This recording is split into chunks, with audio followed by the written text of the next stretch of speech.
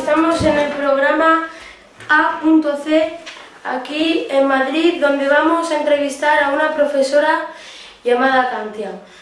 Bueno, hoy la primera pregunta eh, que le vamos a decir es ¿cuántos años lleva la enseñanza? Pues llevo ya más de 10 años en la enseñanza.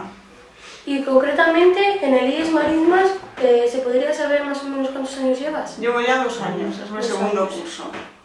Vale. Eh, la segunda pregunta sería ¿cuál es la asignatura que das en secundaria? Pues enseño lengua castellana y literatura. Y aparte de esa asignatura, ¿te gustaría dar otra?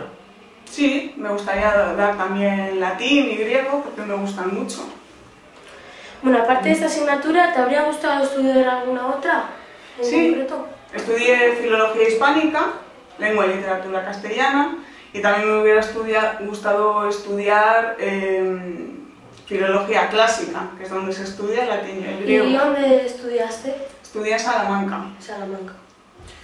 Eh, cuarta pregunta. ¿Has estado en algún otro instituto aparte de IES Marismas? Pues sí, he trabajado en el Instituto Santa Clara dos años, empecé trabajando en Cayón, en el Lope de Vega, y también he trabajado en el Centro de Adultos de,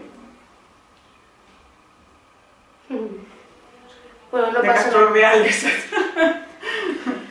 Eh, quinta pregunta. ¿Eres tutora de algún curso? ¿De cuál? Sí, soy tutora del grupo de, de primero A. Primero. En Bueno, el que se me incluye a mí. Bueno eh, ya hemos terminado esta pequeña entrevista a, a profesora de lengua castellana y literatura y tutora de primero A. Bueno, pues muchas gracias. Nos veremos en el siguiente programa de A.C. Hasta luego.